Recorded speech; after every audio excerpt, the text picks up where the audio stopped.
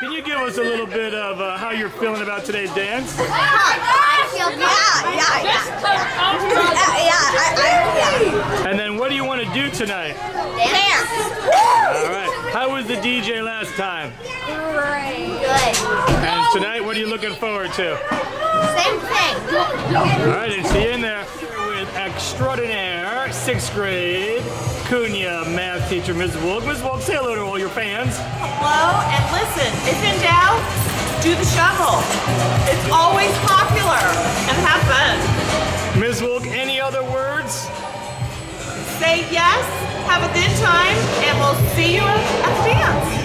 Why are the Cunha dances important? Uh, they raise money for us so we can give back to the students and help them with their dance, uh, more dances, activities, and whatever else they may need. Any song you're looking forward to tonight? Uh, not really. I just hope there are some good Don't make it too tight. Don't make it too All right, wave hello. Don't Make it too tight.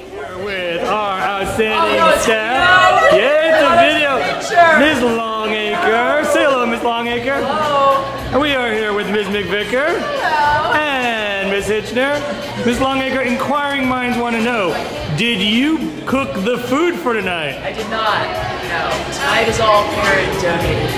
Miss Miss uh, Hitchner, are there any science fair projects that'll be experimented with tonight? Sound and motion. Sound and motion. And Miss McVicker, any stories that you'll be looking forward to? Uh, well, every song tells a story, doesn't it?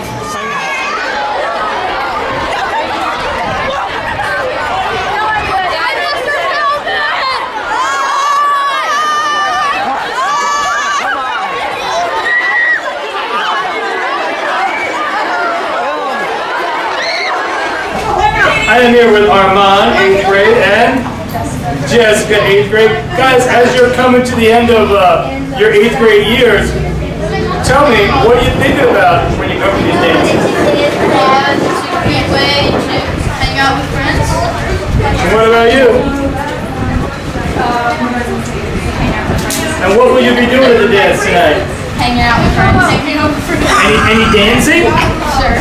What kind of dance? I could embarrass you. We do a little disco dance. Oh, no, no dancing for you. disco, I could- Disco dance. All right. See you inside. Mr. Cox, tell us why the dance is so important. Dance is important?